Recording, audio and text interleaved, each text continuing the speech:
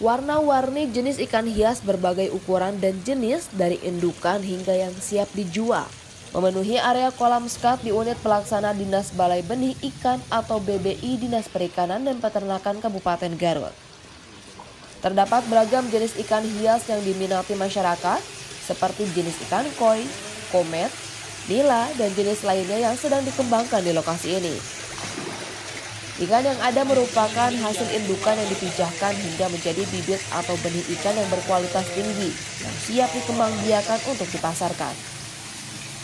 Kepala Bidang Perikanan Budidaya Dinas Peternakan dan Perikanan Kabupaten Garut, Dudu Sudaria mengatakan, fungsi dari balai benih ikan ini untuk menyediakan benih ikan hias dan konsumsi berkualitas sebagai komoditi unggulan. Ikan yang ada guna memenuhi kebutuhan para pelaku usaha budidaya ikan hias di mana pihaknya memiliki hampir 170 kelompok binaan ikan hias di Kabupaten Garut, Jawa Barat. Ini untuk memenuhi kebutuhan pasar lokal, Pak? Eh, Garut saja atau ke luar daerah? Kalau BBI-nya sendiri, kita memproduksi benih ikan khusus untuk eh, kelompok-kelompok budidaya yang ada di Garut. Ya, karena memang tujuan kita untuk membangun perikanan ya. supaya berkembang di Garut.